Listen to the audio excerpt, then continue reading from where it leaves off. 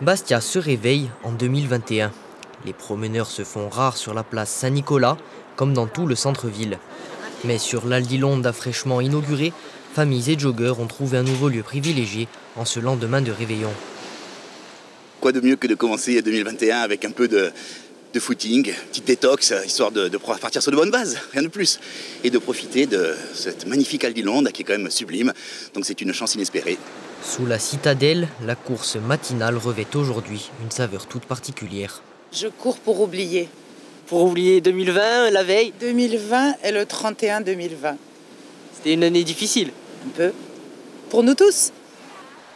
Un peu plus loin, sur la plage de Figadiol, les plus courageux se prêtent au traditionnel premier bain de l'année.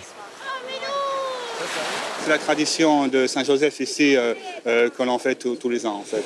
Ça fait plaisir de revoir tout le monde et de, plonger dans l'eau froide.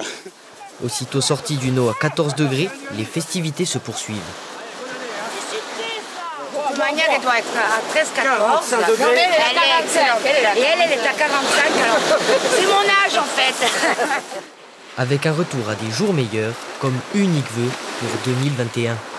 Qu'il n'y ait plus le corona, qu'on puisse voyager, que les bars et les restaurants réouvrent et qu'on enlève les masques.